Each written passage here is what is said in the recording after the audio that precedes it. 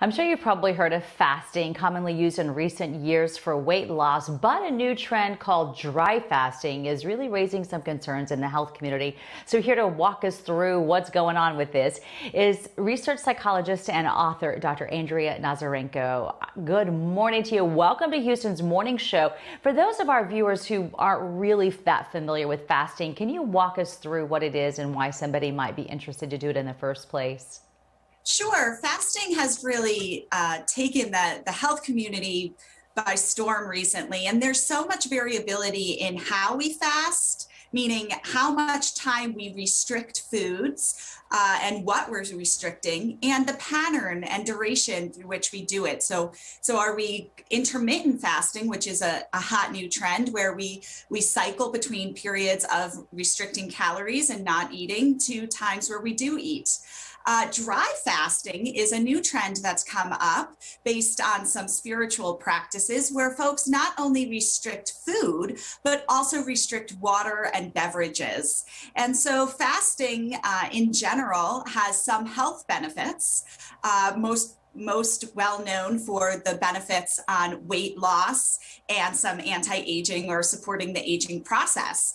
However, the stretch to dry fasting is something new and uh, not as well researched and known. Uh, uh, as uh, typical fasting where we're restricting food. And I'm, I'm here to really express some concerns uh, about the safety and effectiveness of this technique for weight loss.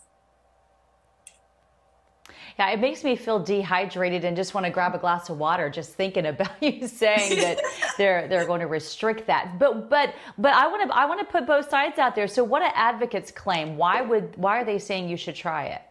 Yeah, so advocates and big proponents of dry fasting in particular are claiming the weight loss benefits, and they look at some studies from uh, the Ramadan season. So it's very common in multiple spiritual practices to restrict food and water for a, a short period of time. And there are some studies that show that during Ramadan, people lose weight.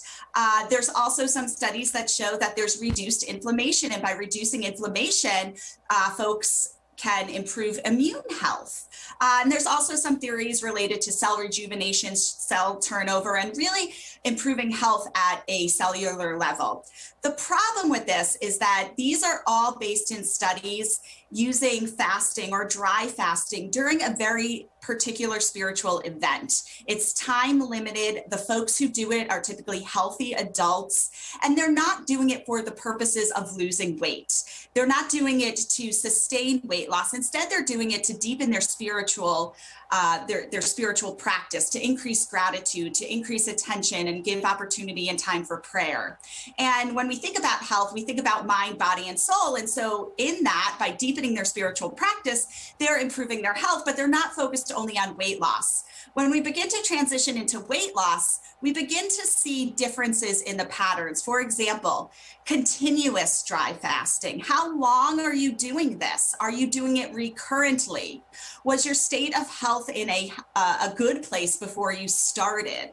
And so we begin to make the waters, so to speak, a little bit muddy because we're no longer doing it in this very particular spiritual way. We're doing it to lose weight. And, and in reality, there's healthier, uh, more effective, or more known to be effective ways to lose weight out there that, that actually include eating healthy foods and All drinking right. water.